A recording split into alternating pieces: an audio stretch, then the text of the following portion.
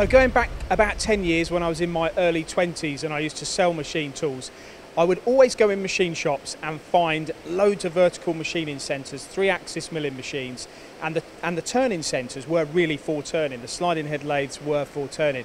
That's very very different these days. I'm at Quantum Precision in Birmingham. I'm with John O'Brien. John, you're um, a story which, which really uh, showcases that, aren't you? Can you can you tell us about some of the parts that you got here, these two parts, and the fact that now you don't do them on milling machines anymore, do you? No, um, the stars can pretty much almost do anything. This used to be made out of billets and used to take weeks to do a, a run of 500. You constantly turning each face round. Is that how you did it? So you had a machining centre, you had lots of vices, and you just maybe do op ones, like 15 to 20 op ones, and then turn them all over to op two. Did, did you used to do it like that? Literally like that. Is you line them all up, and you set it in the jig, press start, and you're doing 12 at a time. It used to take ages to do 500. Did you scrap many as well doing it like that, just because of the, you know, you, you rely heavily on the operator there to, to move the part around? The error was within the, the billets that come in, so if one was out, it would come out. But now, it's done on the star and you never get a problem. You press the button and, and just walk away. Have, has it changed the way you think when a, when a part comes in? Do you go around looking at the mills thinking, actually, I, I can do that more efficiently here on this sliding head lathe? Yeah, because we've been able to do that out of a round bar. So then when this one come up, we weren't really going to go on the star because we know we can mill anything pretty much. Um, and this is a good example as well because you've got lots of holes here that are sort of off centre, they're off centre line, and again, if you were having to fixture that up, I mean, you'd have to do some turning operation there anyway to do the thread, wouldn't you? Mm, but now it's just one hit.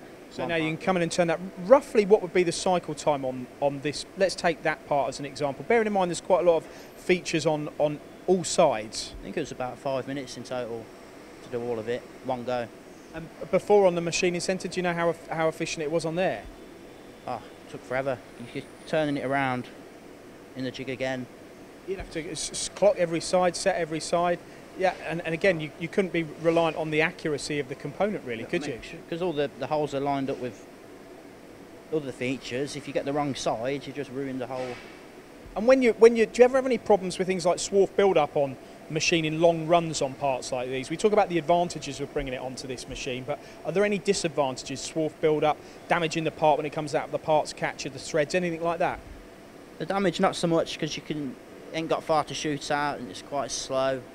Um, you don't generally have a problem. So you've expanded your sliding head lathes now. How many have you got from Star? About 11 now. That's a lot. and, and, do you go around looking at ways of getting more onto these machines? Because you can just run them, you can press the button and go home, can't you? I'm always trying to find a different different way of doing something, and if we, if we can put it on a star, saves it on a different machine, you, the cycle times always tend to be better on the star.